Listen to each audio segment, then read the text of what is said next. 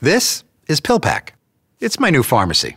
Each month they deliver everything right to my door, and my pills come pre-sorted by the date and time. The best part, their service is free. I only pay for my medication. PillPack by Amazon Pharmacy.